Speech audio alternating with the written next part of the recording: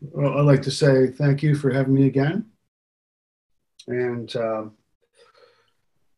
I could talk all night on this subject, but I'm 30 years plus in now to the archival research, and my new moniker is dedicated to preserving the legacy of the great mediums. That is my mission, absolutely. I am going under every rock, nook, and cranny with an emphasis because of the, where I live, mostly on the physical mediums in America. But I am just searching out what they've done and what they've left to the world. And the great body of, of let's just call it historical spiritualism, because you go back in time, spiritualism, the indigenous cultures thousands of years ago, predating historic spiritualism, modern spiritualism. The Native Americans were the masters of psychic laws. They were brought up, they weren't, uh, they were conditioned to believe and, and, know their power in the psychic plane. And uh, the Mayans, it goes on and on. The Egyptians, these are masters of psychic laws. But my particular calling, thanks to Emily French, is modern uh, spiritualism. And even though it's three decades, half of my life, uh, and in my particular case, everybody has to speak for themselves. Uh, a woman who I loved, who was 28 years old, she passed away from leukemia. And uh, her clairvoyant visions towards the end of her life in Johns Hopkins Hospital just woke me up to the afterlife. And from that point, I I stopped what I what I was dedicated to a musical career, stopped in my tracks. And to the shock of many, I said, I'm stopping this career and I'm going to go in search of the answers to life after death myself with no help from anybody. Certainly not the private Catholic schools that I was brought up in. Of course, they have nothing nothing to say of any substance. So I started the search on my own. But the clairvoyant visions of the young lady who passed away was so, so colossally evidential that you cannot possibly deny what, what happened. The son came, and uh, there's just nothing that could possibly. It took me off the course of my life and changed the whole thing. So here I am 30 years later. And like Craig and other researchers, I'm still on the path, unearthing the great legacy of the mediums. So I'm eight books in. I've got ideas for probably five other books. I'm going to keep going. Uh, it's unfortunate to me. I was trying to explain this to my wife earlier tonight, what my theme was going to be tonight. And it, it essentially is I'm not sure if I'll explain it correctly, but I'll try. That when you are that deep into a subject, could be baseball, football, whatever it is, you study the subject for that long, you, you find out things that you never I'm still unearthing things that I, I I'm I just I just takes my breath away. The great mediums, what they, what they left. So, our we had 100 years approximately, which I call the century of wonders. If anybody who knows my work knows that that statement I use. 1848, which was the beginning essentially of modern American spiritualism, the Fox sisters in Hydesville. It's one, one hour from my house to I would say, uh, 110 years later, even though the great Leslie Flint and David LeBaron were the last two really, truly incredible independent voice uh, mediums. We all know Leslie Flint, but David LeBaron, he was in Seattle. My wife sat with him probably 300 times. Incredible uh, mediumistic events. anyways, the whole entire history of the subject of spiritualism, examined by some of the greatest minds who have ever lived Sir William Crookes, Sir Oliver Lodge, Sir William Barrett, Arthur Conan Doyle, on and on and on it goes. The greatest minds. The whole subject seemed to be swept under the carpet by science, by the church, materialism. 19th century came, and here comes materialism. My theory, and I think it's a legitimate one after 30 years, is the spirits knew this. They knew what was coming. Look at the world now. Now it's, you know what it is, you know, cell phone towers, and we have who knows who's in the seance room with a cell phone recording everything. The whole thing. So I think, I now used to think it's a human problem, but I now think the spirits knew back then we're opening the portals and we're going to give you a titanic outpouring of spiritual events, which they did. So, archiving the, the, legacy of the great mediums to me is very important. Hopefully, we can bring it from the cemetery of obscurity into the present because the fact of life after death, spirit return, has been proven thousands and thousands and thousands of times. It's already been proved. Seems like we as a culture, we're not progressing. You know what I'm saying? I just get that feeling that it needs to be brought forward instead of coming from the cemetery. So I, I'm trying to bring it forward into the mainstream of thought that the world can benefit. The what good then is everything, unless you study the subject. I, I'm staggered by the great things that the spirits of the mediums have done for this world, what the spirits have said, what they have done. It is it's astonishing to me that it's buried. Where it could change the world if the, if the world knew it could live by the teachings of what the spirits have already said, the world would transform overnight, absolutely transform overnight. So I'm giving it my best shot. And until my last breath, everyone will know that I did the best I could to bring that stories of these wonder workers to the light of day. Yeah. Latest one is Spectral Evidence 3, and it's I'm, I'm unearthing trumpet mediums from New Zealand, the Mrs. Moore from Scotland, Mercia Swain, a tremendous independent voice from Buffalo. Uh, I'm just going at it. I'm, I'm, I'm going to have a chapter on psychometry. Emma Hardinge Britten. I'm just now doing a chapter on, to me, one of the one of the most wondrous moments in spiritualism. And I will challenge anyone. I don't care who you are or what academic level you are, try to get your head around this one. Emma Hardinge Britten, born in England, she died in 1899. As far as trance address, Abraham Lincoln is assassinated. The very next day, Emma Hardinge Britten is approached by many very influential individuals and they want her to give the funeral oration. She says yes. She's 42 years old. This is a trance address. Where can the critics go with this one?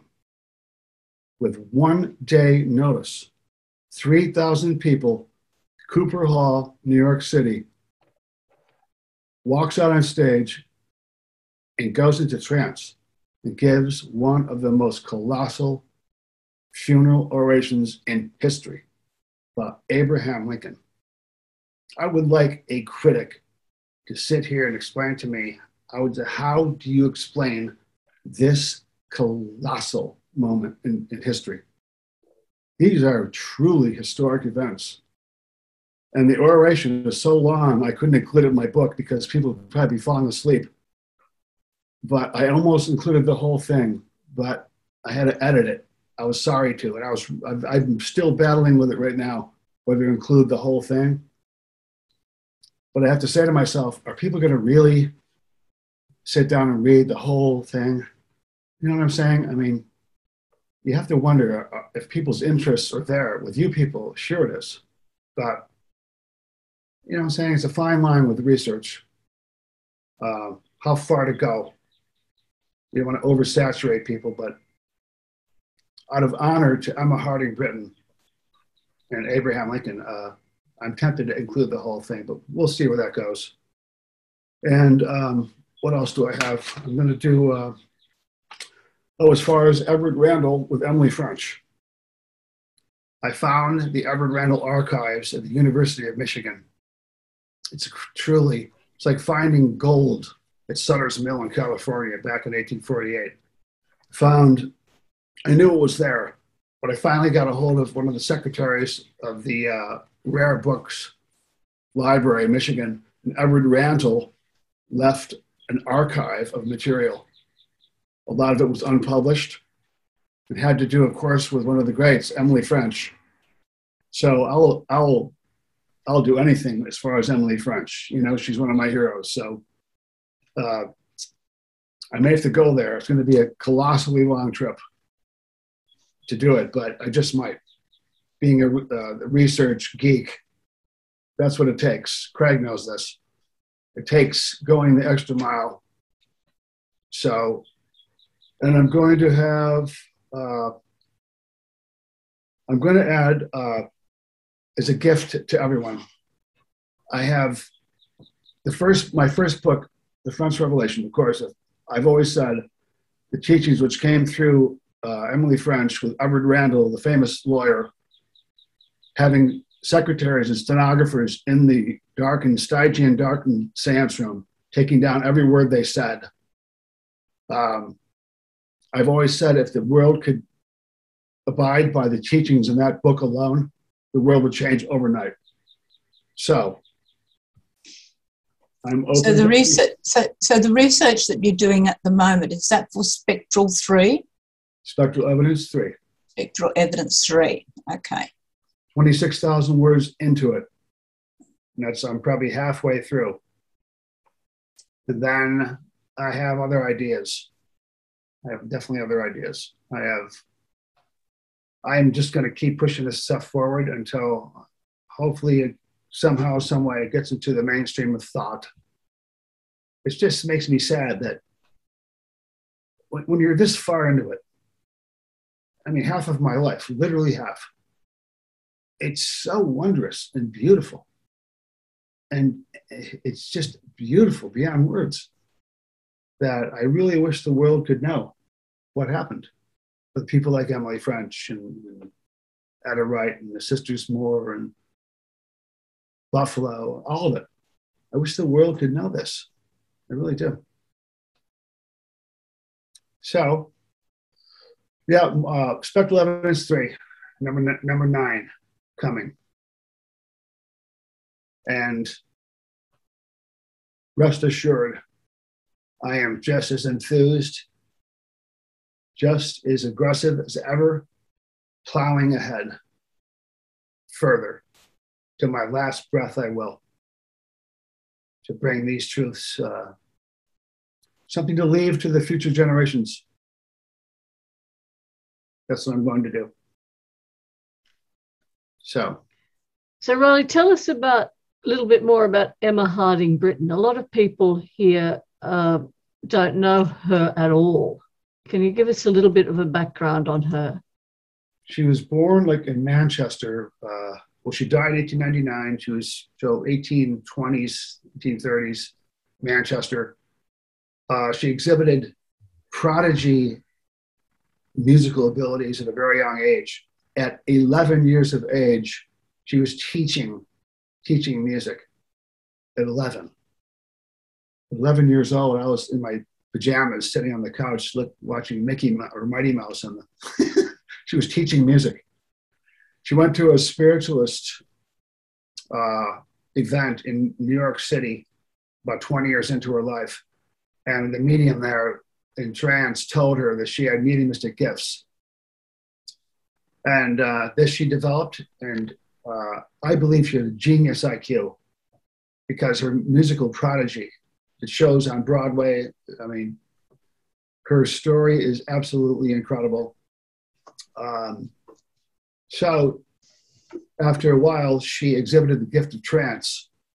And I've always been fascinated by extemporaneous addresses, which to me could quite possibly be the severest test of any medium is to be, especially young, like uh, Cora Richmond, one of my heroes, 18 years old, basically illiterate, but in trance, could be given any scientific question, and the her elocution and brilliance. Same way with Emma Hardinge Britten, she established right away her ability under the severest test conditions to have in front of an audience, the audience could form a, a little body of, of thinkers and they could come up with a question to put forward any scientific level. So Emma, Hart, Emma Hardinge Britten, uh, that, that became her, her forte. I have uh, trance addresses of hers on different subjects I'm going to include in the book. I've always been astounded by, by this form of mediumship. And you don't see it anymore today at all. You don't, not trance address, not to this level, NO. So, uh, look her name up and do research. You can find a lot of stuff and uh, just Google her name, Emma Hardinge Britten, B R I T T E N. H Hardinge is H A R D I N G E. Emma Hardinge Britten and you'll find you'll find all kinds of things. I read her autobiography written by her sister, uh, Mrs. Wilkinson. And uh, one of the latest works I've been reading of hers, actually, I finished it, was the most brilliant thing I've ever read on the formation of the Christian belief. It's called The Faiths, Faiths, Facts, and Frauds of religious history. And this is all trance addresses by the spirits, saying were the foundations of religion itself. It's essentially, I'm not going to get into this because we could spend literally hours on this one. Man simply just looked up to the heavens. And, and the basis of all religious belief starts with that. It's all some astrological beginnings but it is truly astonishing. And uh, there's going to be a chapter on psychometry, which is another another uh, aspect of mediumship, which is truly astonishing. I'm going to include a chapter on the biologist William Denton, who's a geologist, I mean, whose wife was a, a psychometrist. You could place any object in her hands, and she would basically tell you the history of that object which which says a lot right there. You know, the rocks. Uh, it's almost as if rocks have memory. Like there's no such thing as anything that's inanimate. But the soul of things, the book by William Denton, 1883, is absolutely remarkable. It's a body of work that, once again, should be on the bestseller list, New York Times bestseller list It is truly astounding because he was a geologist. So the history of objects, bones, fragments, prehistoric, in the hands of the, of the right psychometrist, which is true mediumship, can tell you the history of that object. And it's truly astounding. So I'm going to include an edited chapter on that too. And uh, on, and on we go. David LeBaron. He's a medium uh, in Seattle. Uh, Caroline could tell you much more about than me, even though, but she won't come on camera. I'm sure she won't. Um, he was a physical medium. He died in 1996, right? Right around the time Leslie Flint passed away. And um, he had trumpet, he had etherealizations, spirits would come out of the cabinet and you could see through them like a, like a negative photograph. Uh, he had apports, but mostly it was uh, etherealizations and materializations and teachings from different times of the week. He would have uh, teachings from the spirits. They'd come through and they'd said, This specific night is just teachings. And the spirit would materialize and come out and, and give their teachings. And uh, Caroline went to, she went first as a skeptic. This is back in the early 90s. And her father came through. And there was no question whatsoever about these, these people knew nothing about her. And her father came through, and then her guide came through, and various things happened because Caroline's a powerful medium unto herself. She's a very well known clairvoyant. Um, I think that her uh, mediumistic essence added to the seances. We all know this. You know, the circle is as good as the, the energy, the energy patterns of the sitters. You know, the this is the great science of, of sitting.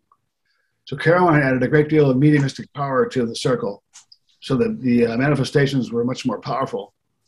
And she she was able to experience a lot of things. She sat probably for 200 times or more with the Baron. So she saw a great deal. But he was basically uh, he was known in that area, but not really known to the level of Leslie Flint, you know. But uh, I'll, I'll, I'll probably do some work on him.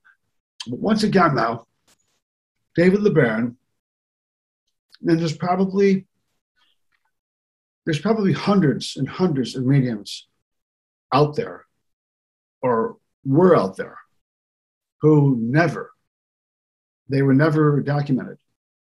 For every one powerful, great physical medium, there's probably thousands uh, that were never known. Lucky me, um, only due to the, the nonstop research have I been able to find these rare books. A lot of them you cannot even find anymore. You can't find certain books. I look up, I try to find copies of some of the books I have. I just can't find them. So, and I got these, a lot of books I collected were in the early 90s, uh, the old fashioned way. I, I did not even have a computer when I wrote my first book.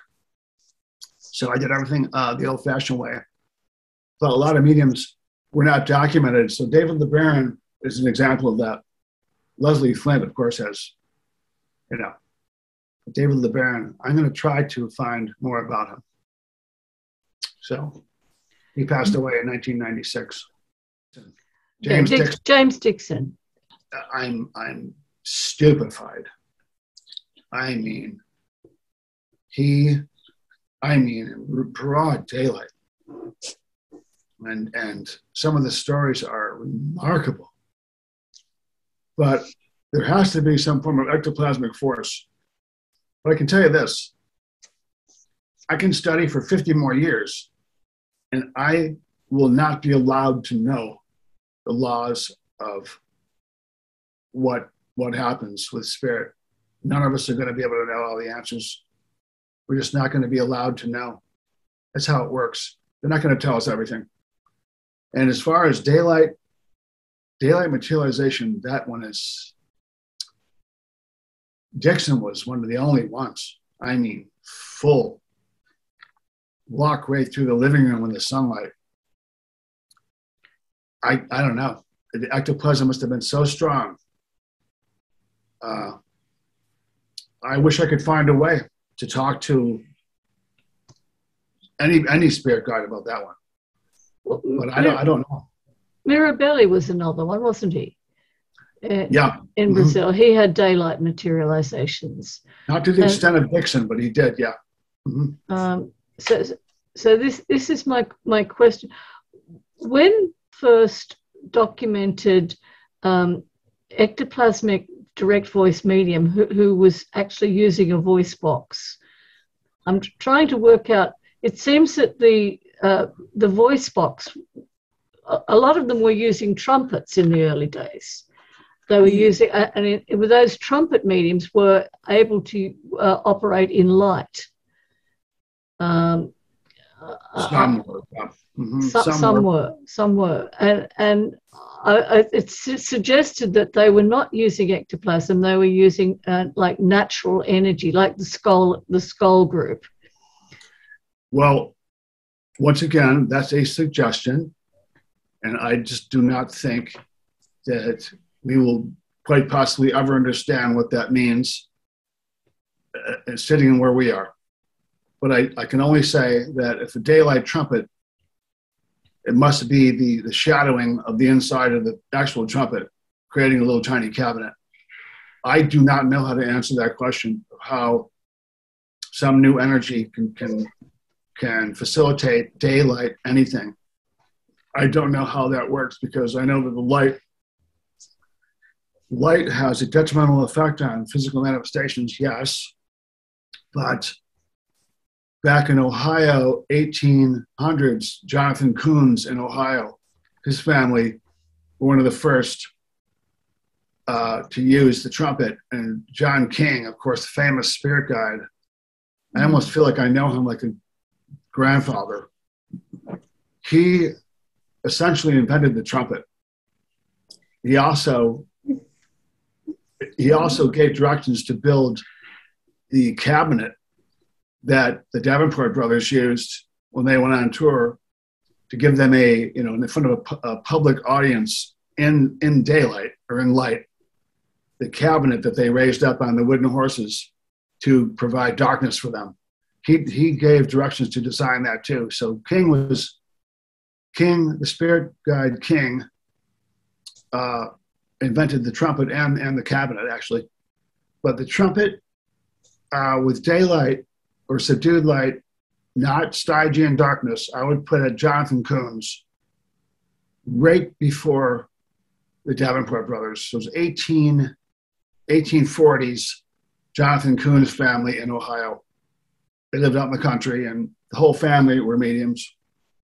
And they were viciously attacked by, uh, literally attacked. Their house was under siege numerous times from the the unbelievers.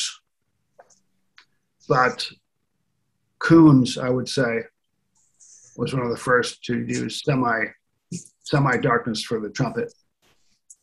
Etta Wright also uh, could put a trumpet down in a room with a, with a full light and, and be several feet away.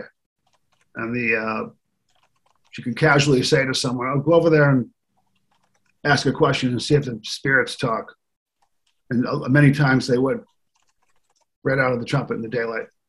Can you imagine that? The trumpet sitting on the couch and then just going over and have a conversation with the trumpet. So she she wasn't attached to the trumpet. The trumpet was uh, just sort of lying on the floor. Oh, numerous times Etta Wright, numerous. It, yeah. Just uh, over there on the couch, and she would casually say, "Go over and go over and see if you can feel anything. And on numerous occasions with Etta uh, a person could walk over there and just, hello, who's there? And someone would speak out of the trumpet. Very, very powerful. But I think it, I don't have any theory. I think it was either the darkness of the trumpet itself inside the trumpet or some law that we are not allowed to know. As far as daylight manifestations, I haven't heard any theory. And uh, therefore, I accept it as we're not meant to know, maybe. Can't know everything. I, have read of similar things like this happening in indigenous ceremonies of yes. uh, direct voice mediumship. Oh, sure. Uh, I mean, masters. every everything that we have. It's interesting. We uh, next week we we have um, Lionel Friedberg coming on, who has written a book on African shamans and right. his his contact with the African shamans. I th- I don't think we know enough about shamanic mediumship, and I think we can learn a lot about physical mediumship if we actually start looking at indigenous mediumship. If you can find, see, it's, it's it all comes down to the research. It takes people to go out and research it and then archive it and document it. Otherwise, no one's going to know what the hell happened. That's why I think that the, we should do everything we can to bring. We should have. We should have uh, advanced as a civilization. We could have advanced way more than this if the truths that had already been documented had been mainstream thought.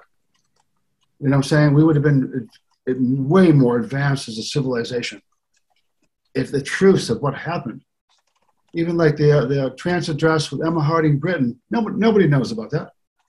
The day after Lincoln was shot, and nobody knows about this. 3,000 people at the Cooper Institute, she gave an hour and a half straight, absolutely mind boggling, beautiful, lofty address about Lincoln. And it's just wiped out in the uh, cemetery of obscurity. But speaking of shamans, I've been to the rainforest with my wife, been three times, and we ingested ayahuasca. I documented this in my book, The Hereafter. And you want to talk about shamans? There was a looked like he was 110 years old. He walked 15 miles through the rainforest to get to us barefoot. He was a revered priest. All the Shuar Indians bowed when he came out. He looked like a skeleton. But there was a person walking in several worlds because his his vision of the world was so far so different from us. And it was an incredible experience. He could just look right through you